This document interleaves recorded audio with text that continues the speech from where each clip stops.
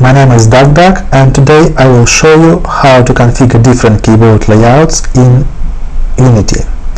Currently I'm running Ubuntu 13.10 in live USB session with persistence. I must warn you before we begin that you need to update your system before we configure keyboard layouts. That is because some of the features of this configuration are not available in Ubuntu 13.10 out of the box. So to configure different keyboard layouts, we already have an indicator on the system panel. Right click on it and you can go to the text entry settings.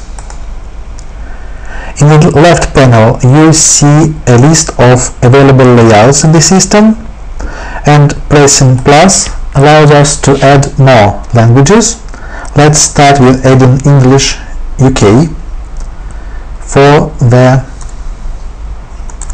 list.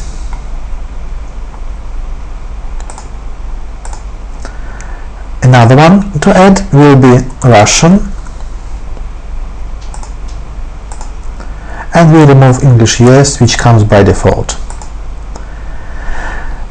In the right hand side of the panel you will see the option to switch between different layouts.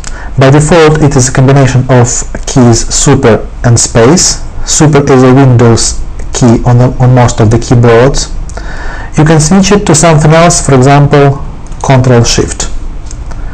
And now we are ready to type in different languages. For example, we go to text editor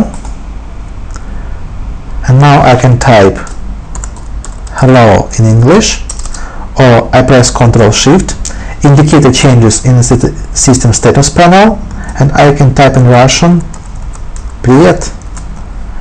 This is how you configure different keyboard layouts in Unity. Thank you.